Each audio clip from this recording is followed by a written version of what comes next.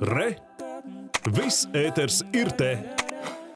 Novembra sākumā pēc vairāku nedēļu cīņas ar covid mūžībā devās pazīstamais slēpošanas treneris Ingu Seiduks. Komentējot notikušo viņu tuvinieki, publiski pauduši pieņēmumu, ka pacienta dzīvības glābšana sākta novēlot. Neatliekamās medicīniskās palīdzības dienests pārmetums noliedz. Detalizēta informācija, kāpēc vakcinētais 61 gadu vecais treneris nomira, medicīnas iestādes nesniedz. Vairāk zina stāstīja Ģirts Virbulis.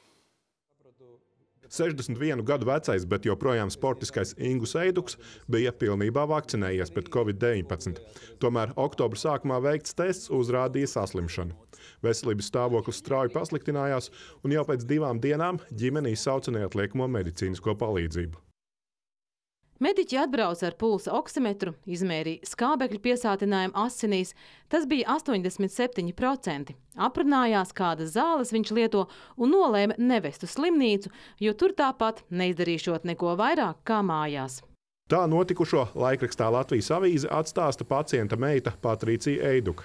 Nākamajā dienā vīrieša stāvoklis turpināja pasliktināties. Ģimene atkārtot izsauca ātros un šoreiz pacientu nogādāja slimnīcā.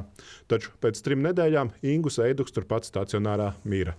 Sarunai ar Latvijas televīziju Eiduka meita nepiekrita, bet intervijā avīzē pauž neizpratni, kādēļ viņas tēvs netika vests uz slimnīcu jau tad, kad neatliekamā palīdzība tika izsaukta pirmo reizi.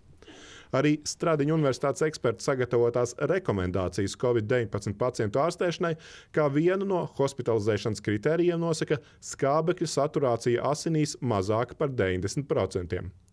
Taču NMPD versija par notikušo atšķiras no avīzē aprakstītās. Pārbaudot, konstatējām, ka nē, tātad saturācijas līmenis atbilda augstākam līmenim, atbilstoši tam līmenim, kā ir noteikts algoritmā, kas arī neparedzēja, ka pacientam ir vajadzīga neatliekama hospitalizācija. Šīs 87 nav mūsu etapā nekur tāda konstatēta cipara.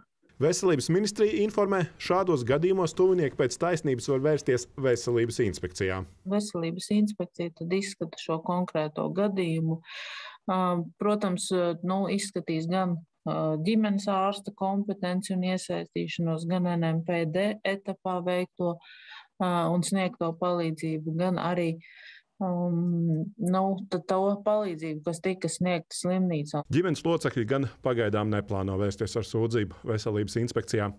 Kāds tieši bija 61 gadu vecā Inga Eidika nāves cēlonis, to mediķi, tuvinieki un slimību profilaks un kontrols centrs pagaidām neatklāja.